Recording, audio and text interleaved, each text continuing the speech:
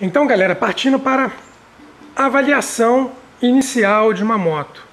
O que, que você precisa fazer? Em primeiro lugar, esquece a moto. Pensa no que você, você precisa, tá? Porque você tem que entender o que você precisa para você entender que moto que você vai comprar, tá bom? Quando eu fui comprar a DR, o que, que eu queria? Eu queria uma moto maior do que a minha XT225, eu gostaria muito de uma moto Sport Touring, tipo uma Cagiva, né? Eu tinha muita vontade de ter uma Cagiva, uma Pegasus, uma Prilha Pegasus. A Virago entrou nas minhas contas também, porque eu queria uma moto mais potente um pouco do que a XT, que não gastasse tanta gasolina assim e tivesse uma manutenção barata. E mais importante do que tudo isso, que não fosse visada para roubo, porque lá no Rio de Janeiro, né? Você quer continuar com a moto depois que você compra, senão não adianta nada.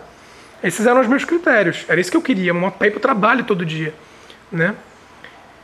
E pesquisando, pesquisando, pesquisando, dei de cara com vários modelos, a Aprilia Pegasus, que o grande problema da Aprilia Pegasus é peça aqui no Brasil, né? Mas é uma ótima moto, com motor Rotax da BMW, se eu não estou enganado, né?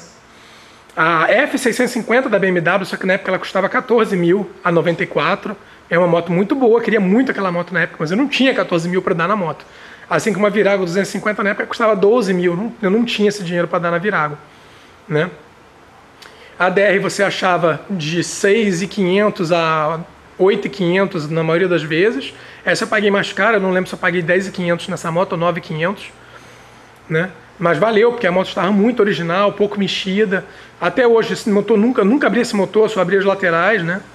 Então, assim, você paga um pouco mais caro, mas você pega uma moto melhor. Né? Você quer pagar uma moto de 6.500? Tinha uma de 6.500 que eu vi.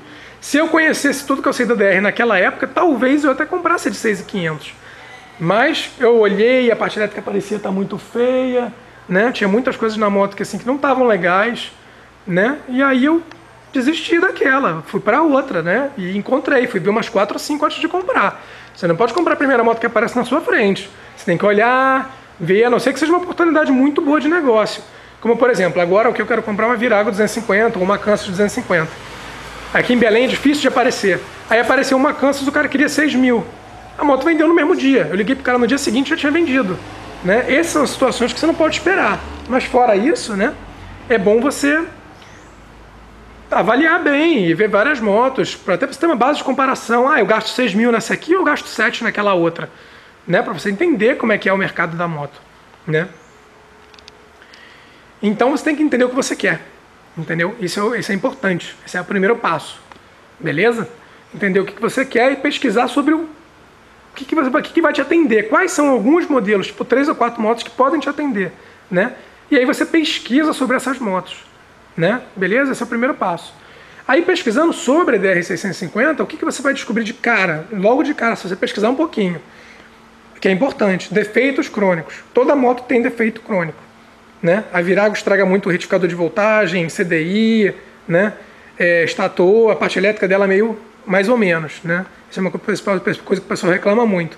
Outra coisa, por exemplo, na Virago, é a questão do carburador lá da Virago, que o pessoal diz que dá muito problema. Mas assim, você tem que entender os problemas crônicos, entender por que, que eles acontecem, entendeu? A maioria dos problemas da Virago de parte elétrica acontece porque o retificador queima e aí ele queima de tabela várias outras coisas. Na DR, a DR tem três, quatro defeitos crônicos, né, que a gente tem que avaliar, entendeu?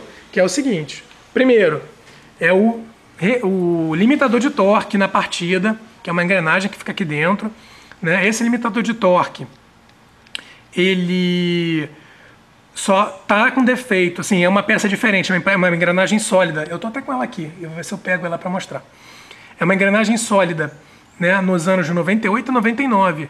Aí o que que acontece? Quando você desliga a moto, que o motor tende a parar de girar, ele pode querer voltar e retroceder e girar ao contrário.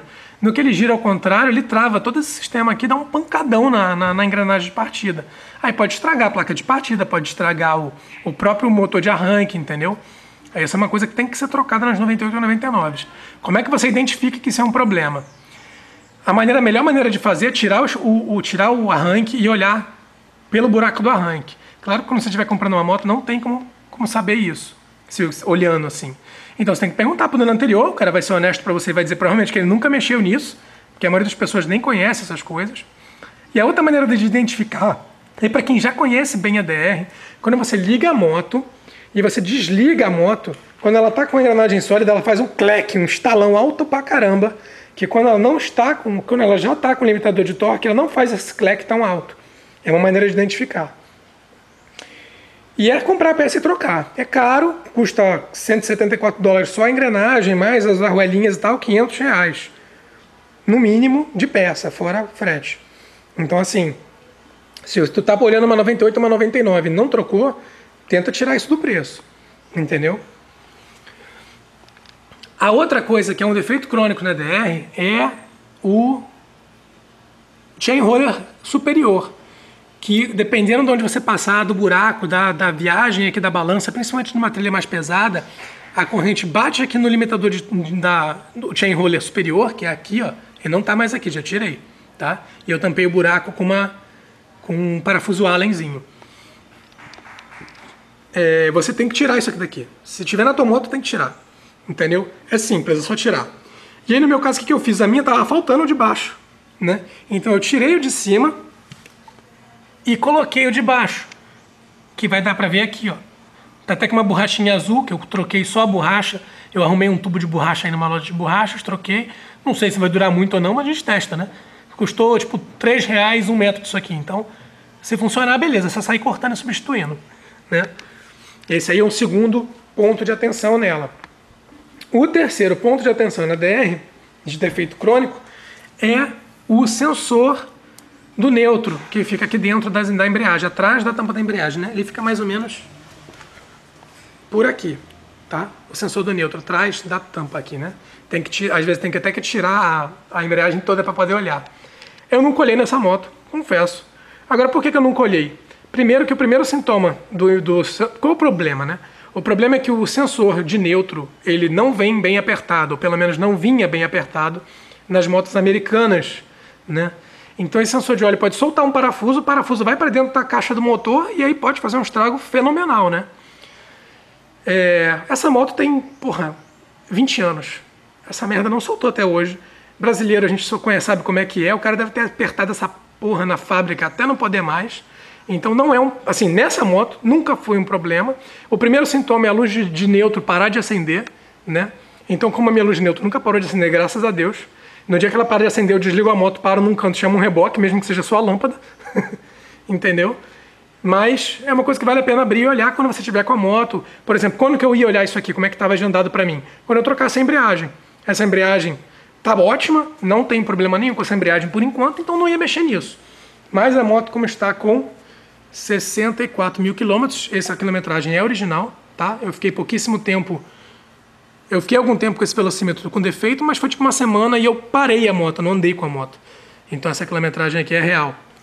Deve ter uns, sei lá, 100 km a mais aí só do que eu andei um, dois dias com um velocímetro com defeito que eu encostei a moto. Porque no Rio não tinha condições de andar com a moto com velocímetro com defeito, né?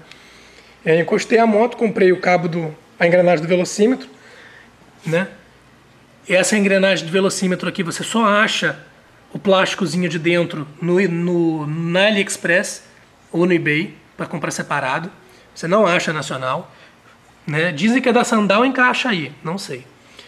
Então eu fui obrigado a comprar a engrenagem completa, porque na época eu não tinha tempo, não tinha essa do AliExpress, paguei uns 500 reais só na engrenagem do velocímetro. Mas é uma peça que durou 20 anos, tá, gente? Inclusive o cabo original. Aí o cabo que está nela hoje é um da Motion Pro, que a gente comentado antes que eu comprei, e aí uma engrenagem original de velocímetro, o velocímetro também nunca me deu problema fora isso. É, então é o parafuso do neutro, o chain roller, o limitador de torque, e eu estava querendo ver se eu lembrava por que, que eu falei quatro problemas. Vou dar um pausa aqui no vídeo rapidinho, galera, deixa eu ver se eu lembro qual é o quarto. Beleza, galera, relembrei. Então são cinco coisas, a gente já falou de três, que é o estator, o chain roller e a NSU, né, o sensor do neutro. As outras duas coisas são, é, são uma besteirinha. Aqui no escapamento, por dentro, ele tem uma bolota de solda gigantesca, enorme, assim, é muito mal feito, fecha um pouco o buraco do escapamento. Então eu já fiz isso. Eu lixei, limei com uma micro retífica para deixar mais redondinho, mais uniforme a solda, para facilitar o escape dos gases. Tem DRs que isso é mais bruto, tem DRs que isso não é um problema, né? Mas isso é besteira. E a outra coisa é o retentor do retentor do pinhão aqui, né?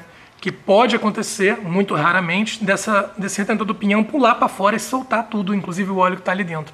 E aí existe uma pecinha, né? Que eu comprei para botar na moto, mas acabei não botando. Até porque eu parei de andar na moto. É, e isso é um problema muito maior em países frios, tipo o Canadá, em que a, o retentor se contrai e pula para fora do pinhão. Você estando com o pinhão direitinho, um retentor bom, não vai acontecer dele, dele ejetar para fora da moto assim. Então esses aí são os cinco problemas mais graves aí da DR650. Você tem que ter consciência desses problemas né, e saber o que você vai fazer a respeito deles. Você vai andar com sem limitador de torque, sem olhar, sem verificar. Você vai abrir lá o NSU, o limitador de torque eu sabia que era um problemão, já troquei, né? O sensor do neutro, a moto tem 20 anos, cara. O cara que apertou aquilo ali, apertou bem, porque se fosse para soltar, já tinha soltado, né? E se ele soltar, a primeira coisa que vai acontecer é a luz do neutro parar de acender. E aí, meu amigo, desligar a moto e chamar um reboque, né? Porque você não pode arriscar ligar a moto com um parafuso de neutro solto dentro da moto, independente de ser só a luz do neutro que queimou, né? Mas estava programado, estava na minha lista. No dia que eu mexesse na embreagem, né, lá do outro lado, que eu abrisse essa tampa lateral aqui para mexer na embreagem, aí sim, Aí eu ia fazer a verificação desse parafuso, talvez colocar um aquele aramezinho para travar ou um trava-rosca, né? Aí tem várias soluções. Beleza? Então, fechou a parte de problemas, né? Avaliação e problemas. Você tem que avaliar o que é bom para você, decidir três ou quatro modelos que te interessam de moto, né? Ou só um, né? Depois de avaliar né, esses modelos. É porque a questão é, você vê três ou quatro modelos de moto, depois você pesquisa quais são os pontos crônicos de problema nessas três, quatro motos para ver o que, que você consegue lidar, o que, que você não aceita ou acha muito arriscado. Por exemplo, uma época da minha vida eu quis trocar a DR por uma Super Teneré 750. Eu acho uma moto fantástica, né? Eu subi em cima de uma, o motor era liso que nem o de um carro, porque é um bicilíndrico muito, muito bom. Só que a moto tem um problema crônico de com aquele peso todo do tanque, a carenagem, tudo de rachar quadro. Beleza, só tem gente que simplesmente pegou, soldou um triângulo lá no quadro, fez um reforço e resolveu. É uma coisa que eu não, não me sinto à vontade de fazer, entendeu? Então, eu descartei. Beleza? Então tá aí, fechou a parte de avaliação prévia da moto. A moto que você vai comprar, né? E o que, que você vai fazer. Aí agora a gente vai partir para avaliação visual da moto. Beleza? Vamos lá.